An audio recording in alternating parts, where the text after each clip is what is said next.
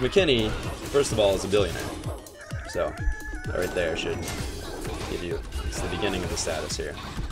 Very interesting story about Frank McKinney. When he was 18 years old, he ran away from home with $50 in his pocket. And he moved from Indiana to Florida, where he had no idea what he was going to do. You know, he was basically like, I'm gone. I've got to find my way. And he, uh, first thing he did when he landed in Florida, he was like, you know what? I'm to get a six pack. I'm to go to the beach. So, he's he was in his net worth essentially to get uh, some beers. He cracked two of them open. He went down to the beach with all these ladies in bikinis. He was like, "This is paradise." And he's 18 year old male basically. And uh, after after doing that for the day, he had his first day in Florida. He crashes on a friend's house, like his couch or something. He already arranged it. And from there, he kind of finds his own way in Florida. He starts off digging sand traps. They're just trying to get some manual labor work uh, at a golf course. And what he finds is he ends up meeting one wealthy person after another wealthy person. And he, he's a smart guy. He says, you know, what exactly is it? What is it that uh, that made you so much money that you can you know, golf all day, every day? Like, what exactly did this? And the answer was real estate. Oh, okay, that's, that's cool. And they went up to the next wealthy guy and said, hey, how exactly did you afford such a lavish, lavish uh, lifestyle. I see that car. That is like 300 grand car. How did you do that? And it's like, oh, well, real estate. And he kept asking the question, kept getting the answer, real estate, real estate, real estate, real estate, real estate. He's like, really? Okay, that's pretty interesting. So, yeah, this song is absurd right now, but we'll let this happen. I can't ever highlight this now. We're going to lose the whole story of Frank McKinney. But you guys get to hear it live. That's what's important. It's okay. So, then, after he's he's still digging sand traps at this golf course. Well, he talks to the golf course leader and he says, or the the owner, saying, you know, would I be able to make more money if I could teach the tennis courts or teach uh, tennis on the courts, things like that. So the guy said, you know, yeah, we uh, we have an opening for a tennis instructor. You need this license. You know, you have to kind of do this and all this stuff. It's like, but uh, sure, you know, you'll make more money if you do it. So they get in this negotiation. They have this deal Frank McKinney is going to basically he's going to go to school, vocational school, to become a tennis instructor. And he did it. Took a lot of money. Took a lot of time.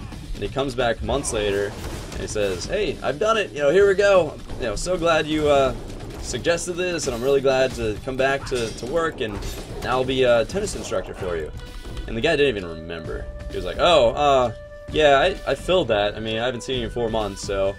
Like, yeah, you haven't seen me in four months. You said I needed my license. I went to get it. I told you. We talked about this. It was like, oh, I'm sorry, it's filled. You know, nothing, you know, nothing I can do. You can dig more sand traps if you want. So Frank, of course, is you know crushed. Ran away from home. Had all this like this sense of mission, and just got totally sandbagged by this guy. So what he thinks about, he's like, you know, where, where can I do what I just got trained to do? And he found a set of condominiums that had had uh, tennis courts, but they didn't have instructors. And so he had this idea. He was like, you know, maybe if I get these tennis instructors, or maybe if I go into these condominiums and say, you don't have to pay me, but I am going to teach tennis on your course. And all I ask is a certain amount of uh, court time with that your your um, you know not really tenants, but I guess residents would book with me. And you can offer it as an additional feature to your condominium advertisement and marketing, that you also have an in-house certified tennis instructor, and that'll bring you more business. And like I said, you don't have to pay me. You just have to let me have whatever fees I, I charge and access to the courts. So he pitched this idea. And the condominium owner was like, okay, yeah, tennis instructor's gonna come teach for free and I get to market it. Yeah, yeah, absolutely, yeah, go ahead. So he does this. Hey, Hawkeye, you missed a good part of the beginning of the story, but don't worry, it keeps getting better. And so he did this for a while, and he found he could do this with multiple condominiums and have lessons all over the place. And he built his own tennis coaching business. And what he thought was, like, these are really rich people. I want to learn how to get richer. You know, he was making about 100 grand a year in his early 20s.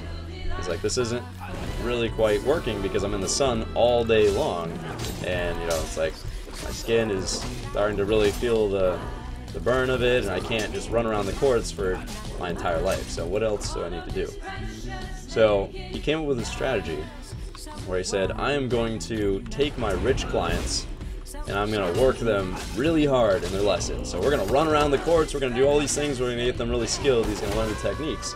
And basically, he like tired all of these guys out within 45 minutes. He's still, you know, young 20 guy. Um, now he's just turned 50. Um, but in his 20s, he was you run around the courts, super athletic, stuff like this, and made all these guys tired. And in the last 15 minutes, they're like, oh, you know, we're, we're good. They wanted to sit down. So Frank, being the smart guy that he was, get him, get him, get him, get him. He would bring over a towel. He would. Can't use any abilities right now. That's bad. Oh I got. Can't even dodge roll. How does this work? Enter twice? Oh crap. This looks bad. So he would bring over a towel, bring over water, sit next to these wealthy clients, and say, I was just curious, how exactly did you end up making your, your money? And again, same answer came back real estate, real estate, real estate, real estate, real estate. He said almost every client he could remember said they made their money in, uh, in real estate. I tried to escape, ended up going away though. And so he's like, okay, this is starting to sound like a pretty viable thing. he's like, all right, tell me what's going on. By the way, great song, great anime, anime Mushishi, highly recommended. So he basically sat down with somebody. Was like, well, Frank, um, I have a I have a unit over here that's basically, you know, I'll pay uh, pay a thousand dollars a month for, and I'll end up that includes mortgage, taxes, and insurance, includes maintenance and a property manager, and they pay me rent. And so I collect twelve hundred dollars a month, and so I end up making two hundred dollars profit on this rental unit I have. And Frank says, two hundred dollars. What's I like the song. I love this song. Man, I love the song. Frank says two hundred dollars. Two hundred dollars? I, mean, I, I have a pocket full of fifty dollar bills because I'm just teaching these hour long courses for fifty bucks all day. And he's like, "What's two hundred dollars?" He's like, "No, no, no. That was when I was your age. Now I have sixty thousand of those units." Frank was like, 60,000? 60, let, me, let me do the math here. 60,000. Oh, yeah, what is that? 120,000. Add two zeros. One point. That's twelve million dollars a month. You're making twelve million dollars a month in real estate.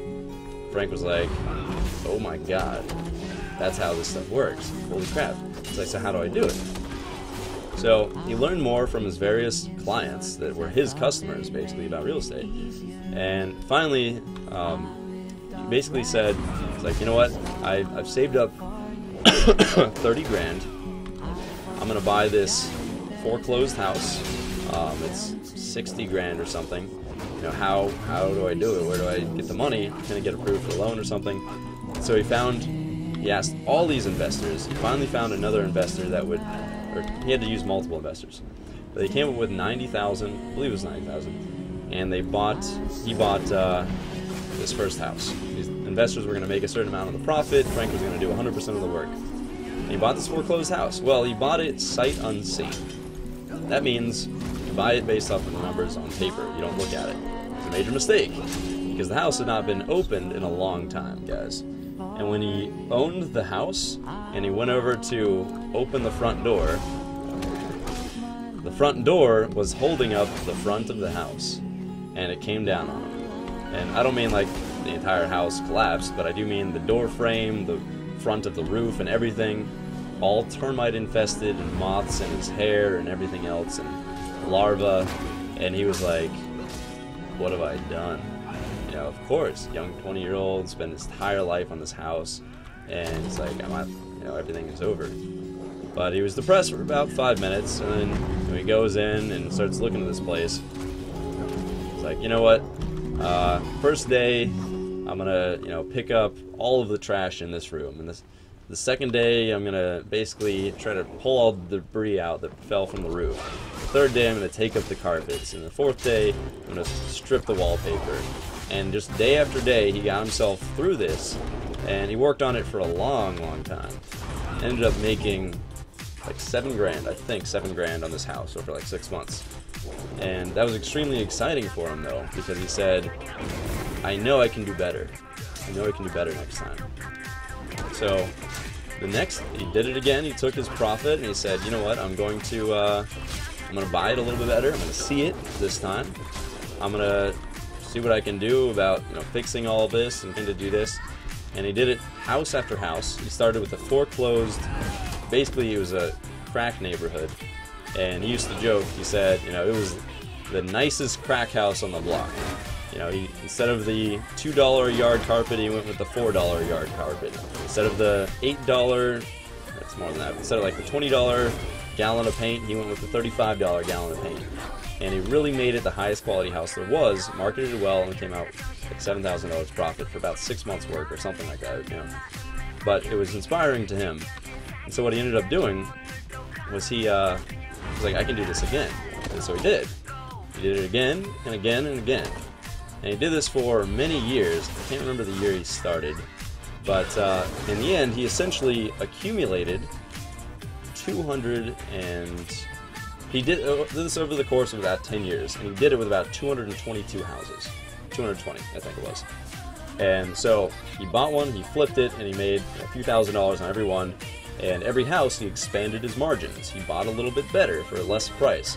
He paid a little bit less for higher quality things, and he did the work a little bit more. He figured out a way to market more effectively and with less money. He did this with 220 houses until he ended up getting a wife at this point. Really lovely lady. I, I really enjoy her. Uh, she's a fun person. Um, so I'm friends with both Frank McKinney and, and his wife. But either way, he, he says to his wife, he says, you know, we have all this money, we have all these projects, they're all over the place. Why don't we why don't we try to do this with one house instead of dozens at a time? Because he had all his money spread out. And so his wife is on board, which is amazing. Kind of shows what a saint she is because they brought together $700,000 at that point after many years of doing this. He wasn't a millionaire yet. And they found um, this property, I think it was called Ocean Ocean Downs or something like that. Made an account, Exceptional Legion. Thanks, man. Welcome to the website. That's great. Now part of the Exceptional Legion gaming community. So there's no in-game guild, but it's still a, social community that we all use and hang out. And the other Exceptional Legion streamers are there. So glad, glad to see you there, man. If you play SWTOR for a decent amount of time, it will find you and help you. You know, I was mentioning what great quality people these guys are.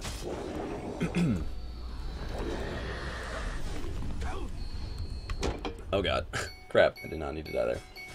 So, in the end, they find this very expensive house. They end up buying it for $700,000. They have about 300,000 for rehabbing. They say, you know, why can't we just do what we're doing now on a much bigger scale and try to increase the margins? They do. And they work really hard on it. and they, they finish it up within about two months of being on the market. You know, they're in they're in it for 1.1 million now. Um, within about two or three months of the market, I think it was even less than two months, they get an offer for 1.8 million. And his asking price was 2.2 million, actually. So he was kind of like uh, larger than life at this point. Forgot that site. Oh, there you go. This is why I have moderators, but you guys probably had it too. Um, so he uh, he's like kind of larger than life at this moment. He's like, no, I'm asking 2.2 million. You know, I can do no harm if I just got this offer immediately for 1.8 million. It's like I'm holding out for my asking price. Well, that almost destroyed him because the carrying cost for a house like this is extreme. Like, I don't know if it's quite 10 grand a month. It very well might be with cost of loans and everything else. Could be even more than that, honestly. 15 grand a month, I don't know but they were losing profit, and it came down to over a year later they got another offer, and it was only for about I think ballpark I think 1.4 mil. So they were like okay kind of, but he learned a very valuable life lesson.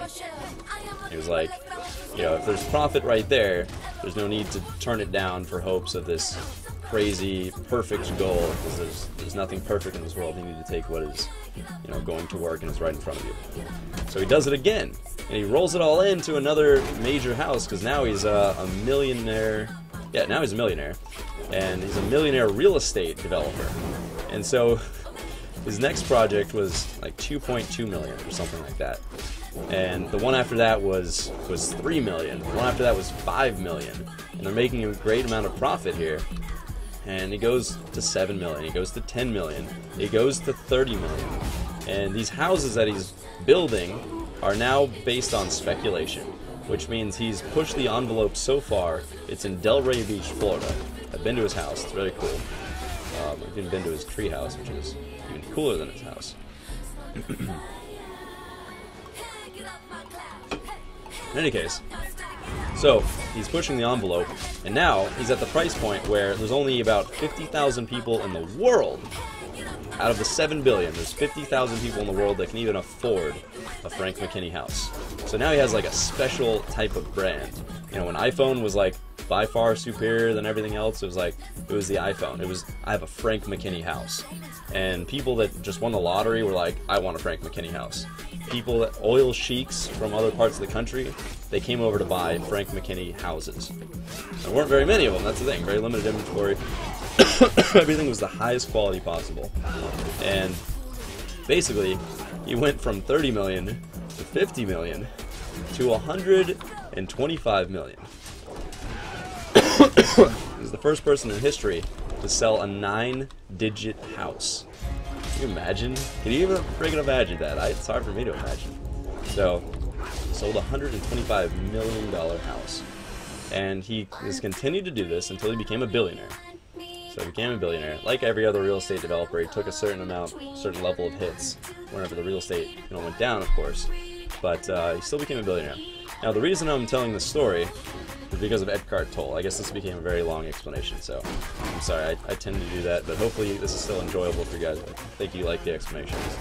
Um, this is the person that personally gave me Eckhart Tolle, and he very much believes that the power of now is important. But Eckhart goes off on a lot of tangents that I don't even specifically remember. Jay just says phone call. That's okay, no problem. it's funny because this whole 45 minute explanation is to answer her question about what my opinion is of Eckhart Tolle. Uh, but we'll leave it at that since she's on the phone now. And that's good enough explanation anyway. Missed most of what you said about Eckhart Tolle, but you got the gist of it. Okay, cool. That's uh, most part about the story was about Frank McKinney. So, but let me tell you how I got to meet this guy because this is this is the fun story that I wanted to tell. I uh, I bought into a real estate program um, which costs a ton of money, as most of them do. I don't recommend you do that, my friends. You can just go ahead and... Who requested this? Let's see. Harrison Songbird. Britney Spears. I like the song, actually. Anyway, so, Britney Spears has some good songs. You know, think what you like about her. Her music's okay. So, I bought into this real estate program, did well. Um, no real reason to tell you guys this because you don't know my real name anyway, but I have a book on my shelf that is a published real estate book. I can tell you what it is. It's called The Consumer Guide to Investment Real Estate. And I'm a chapter in that book because I followed this investment real estate program, ended up buying five rental units in Pittsburgh um, over the course of a couple years. So I was 23, I was one of his biggest success stories, and he put me in this book. It's pretty crazy. And I went to his seminar and Jim, who's a good friend with Frank McKinney because they both work in this Haiti charity together, um, they met in a really interesting way. Jim introduced me to Frank kind of behind the scenes because Frank was doing a real estate seminar, major, major thing. I got to meet Frank behind the scenes, kind of like backstage. He's like, hey man, um, Blade Boques, we'll use that for now. And uh, I got to meet him, it was really cool. he was like, wow, I heard you did really well, all this stuff. So he started becoming associates like that. However, he was like, you know what? Sit in the very front row of the seminar.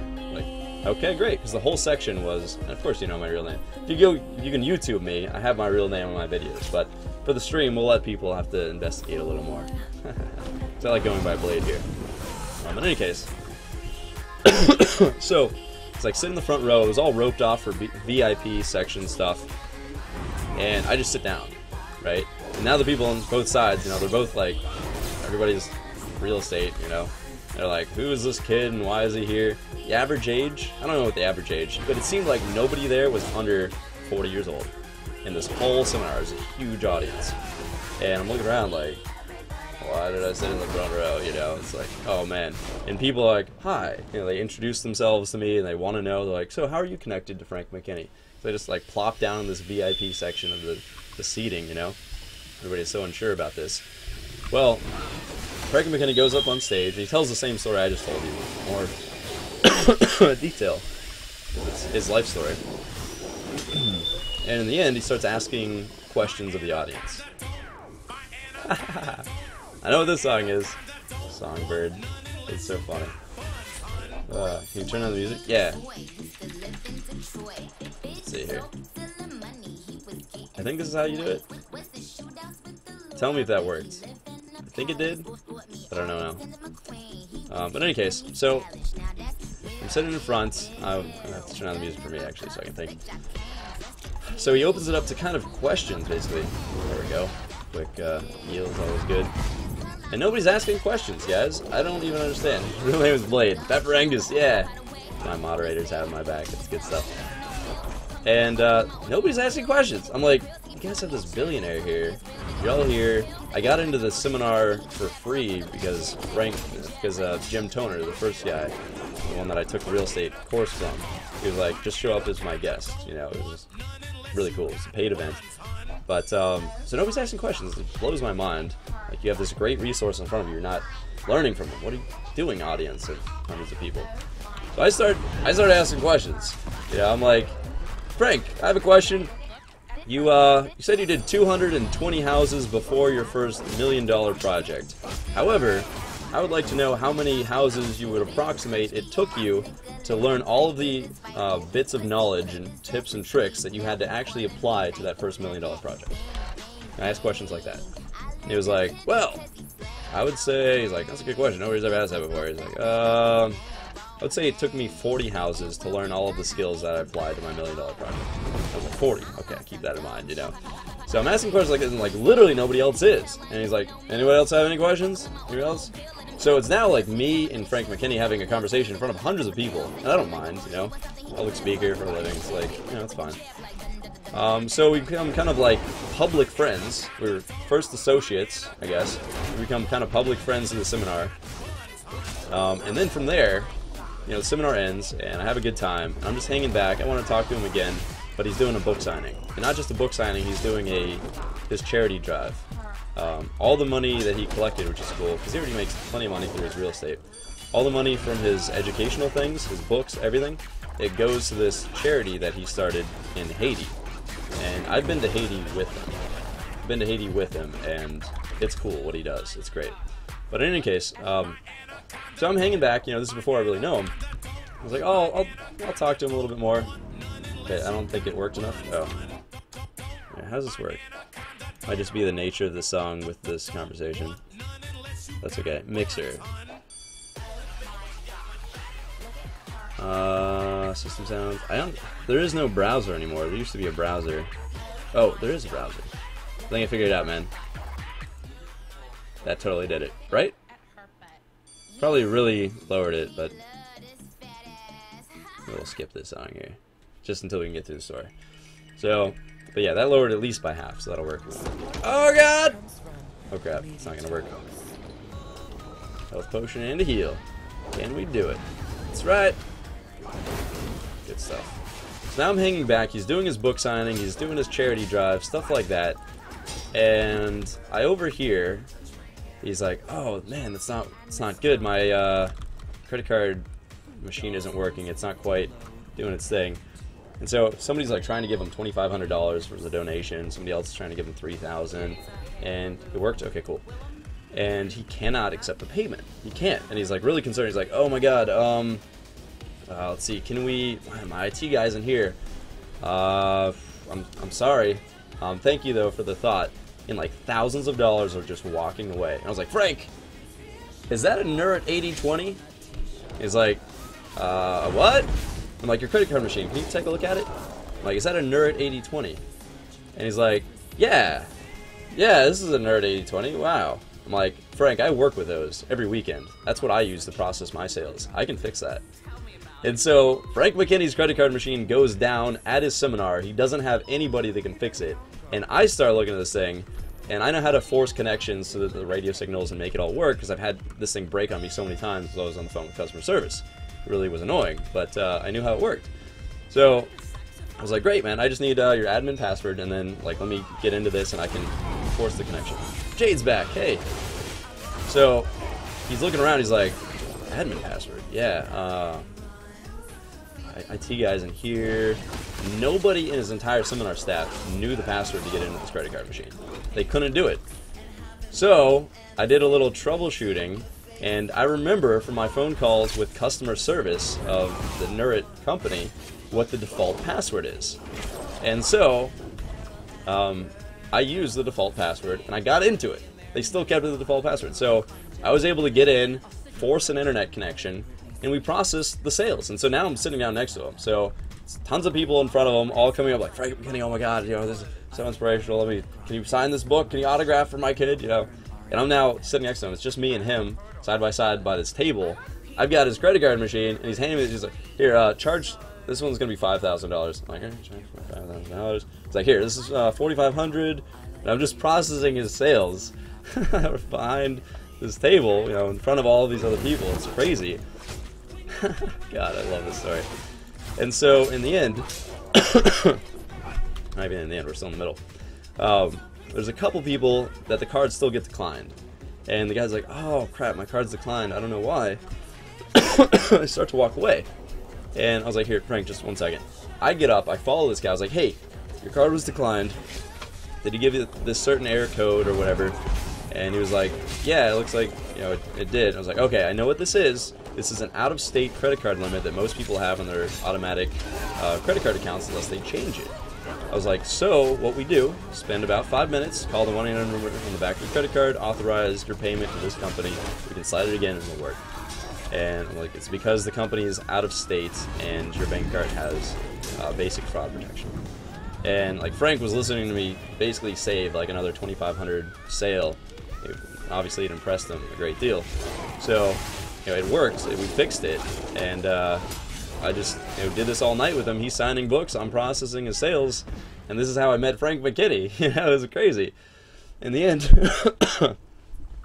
he invited me down to his house later that year. He was like, you know, anytime you're available next year, it's like, come down, we'll have lunch. It's like, fly down to Florida. Do you play MechWarrior Online anymore? No, but I plan to. I will. Turn down your game volume proportional to how much you turn down the music volume. Oh god, dude. This is terrible. How much I hate these things. Over here, I guess? Somewhere around there. Nice, Jade. Alright, just leveled up. Good kill. So, anyway, where am I, 15 now? So he invites me down to his house. So he's like, come down anytime you want next year. Congratulations, 17. Which means you're capped on experience here. So Jade, well done. Thank you for spending that afternoon in the werewolf pit. I wish you luck in your continued journeys, but there's no benefit for you here anymore, so you're released from your grinding chains. I know it's been a grind for you, but you did really well. So invites me down to his house. I show up, and this is a long story in itself, but we've been on Frank McKinney forever, so let's just uh, end it with it was a great conversation it was an unexpected conversation for him. It was not the whole needy, how do I change my life type of thing that he's used to getting. I became his friend, a really good friend in that time. And he takes 25 real estate investors, or friends, honestly, to Haiti every year. And he invited me down as one of those one of those guys. Uh, we pooled our money as the 25 investors. We brought in about, I think it was 125,000, which uh, built quite a few houses. We could build a house for about $5,000 in Haiti. And uh, we established another section of a village that his charity, it's called the Caring House Project, already already built. And I mean, this isn't an exaggeration or a joke, but he literally built over 9,000 houses for Haitians. And the way he did it, the way his charity works is he then basically works with the churches. The churches find homeless people that are like doling out meals to all the people and things like that. And we literally let them line up and hand them keys to their house and the deed to their house. And so we pay to build it. We don't just uh, we don't just build it and like give them fish. No, we teach them to fish. And so we basically taught them how to pour concrete and how to build this structure. Stuff I don't know how to, but this was all part of his charity.